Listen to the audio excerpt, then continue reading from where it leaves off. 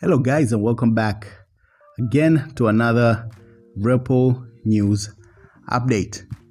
Now, today we have a news concerning uh, Jade McCaleb, that and more, as we also have news concerning Jim Cramer and the XRP price predictions. So, do consider sticking around until the end.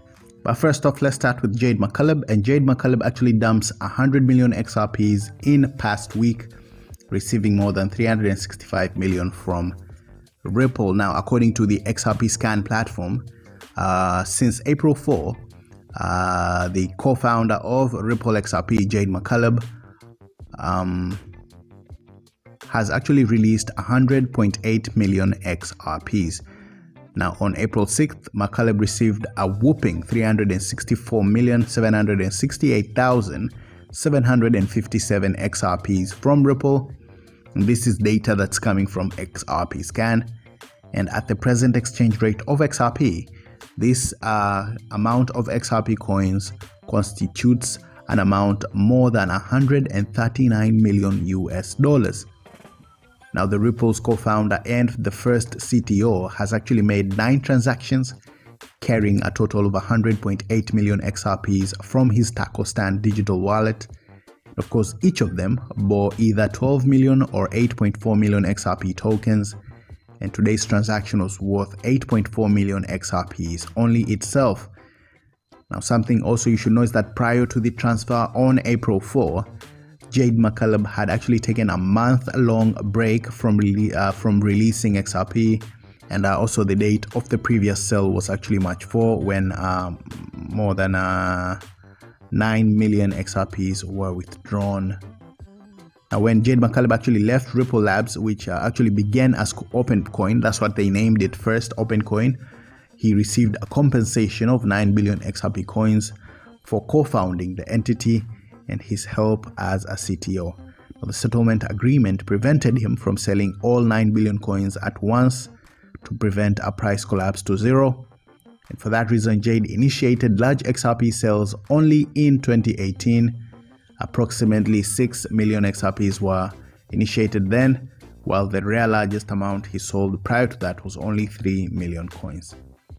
And uh, if you remember, on December 6, 2020, McCaleb dumped as much as 29.5 million XRP coins. So he's been dumping more, more and more as times go by.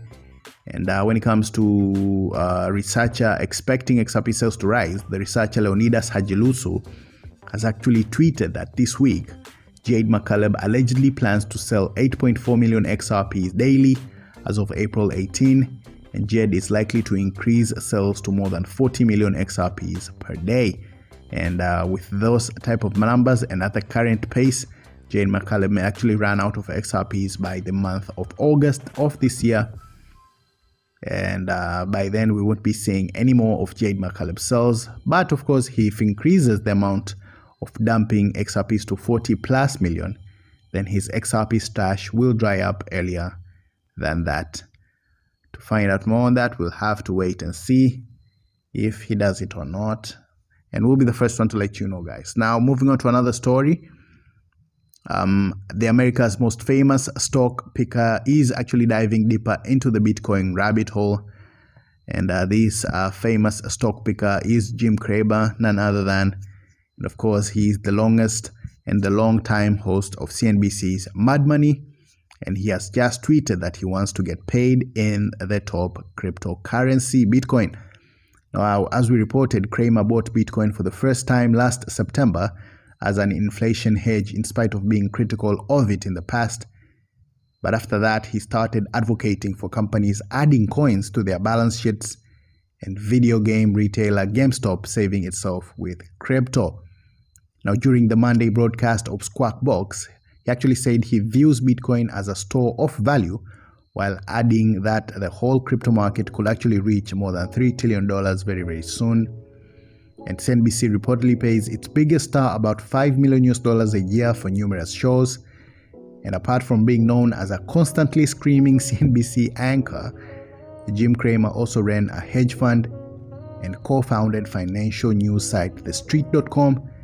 And his personal net worth is currently sitting at around $150 million, which is far below 100 uh, which is actually far below the 1999 when his stake in the street.com alone was worth 255 million during the height of the dot-com bubble. Now, of course, in December, the American football offensive tackle Russell Okung announced also that he had started receiving half of his 13 million salary in Bitcoin. Back then, it was viewed as a bearish sign, with critics comparing Okung's move to supermodel Gisele choosing paychecks in euro in 2007, right before it topped against the dollar in 2007. So he's been dumping more, more and more as times go by. And uh, when it comes to uh, researcher expecting XRP sales to rise, the researcher Leonidas Hadjiloizou has actually tweeted that this week, Jade McCaleb allegedly plans to sell 8.4 million XRPs daily as of April 18, and Jade is likely to increase sales to more than 40 million XRPs per day. And uh, with those type of numbers and at the current pace, Jade McCaleb may actually run out of XRPs by the month of August of this year.